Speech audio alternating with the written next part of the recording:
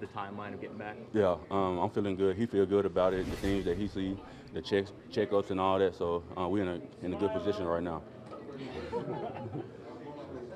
The young offensive line, obviously, it was a little bit of coaches said that's been the inconsistent part of practice, and it was in the family night. Getting you two back, he said, you know, it's, it hurts not having you and David out there. But when you see the young guys, what have you seen in them, and is it itching for yourself to want to get out there and help those guys as well? Yeah, obviously I want to be out there helping my teammates, but um, you know, with young guys, they come inconsistent and things like that. So I feel like um, further along down in camp, they'll get those things, the small things to help them out, help the team out. I feel like they'll get those things um, to make the team better.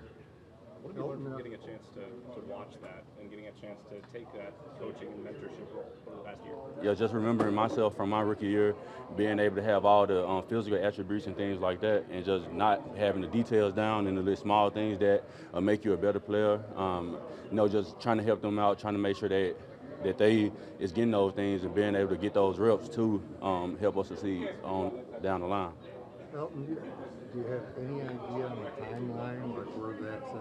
Um, no, I don't. Um, just like I told him, it's when I feel good, the coaches feel good, the trainers and everybody feel good about me going back out there. We're gonna be ready to play. When you come back, uh, do you, do you have a spot that you prefer to play?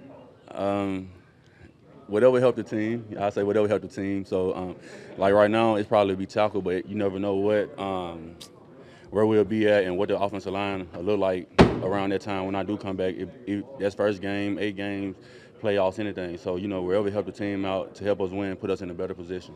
It was said at the start of camp that you're ahead of schedule. What does that mean to you? Um, I mean, you know, I'm doing good. Everything feeling good. Um, the strength, no pain, none of that. So um, I feel like, just like I said, I feel good, and you know, I'm ready to get back out there. So yeah, if it was Dr. Jenkins, you would be back on the field right now. yeah, for sure. We won.